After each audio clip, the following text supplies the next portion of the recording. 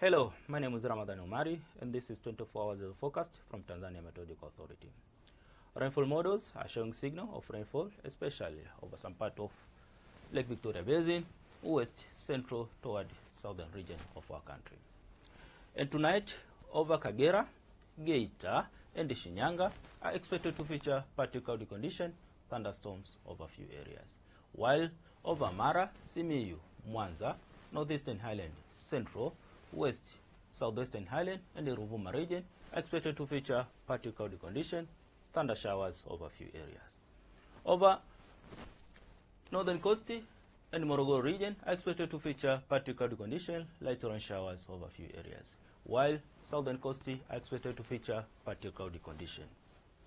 And tomorrow, areas along Lake Victoria Basin, west, central, northeastern highland, southwestern highland, and the Ruvuma region are expected to feature partly cloudy condition, thunder showers over a few areas in sun period.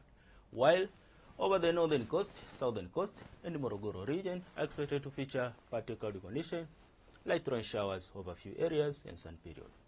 And now, let's have a look on the next four days weather forecast over some regions of our country.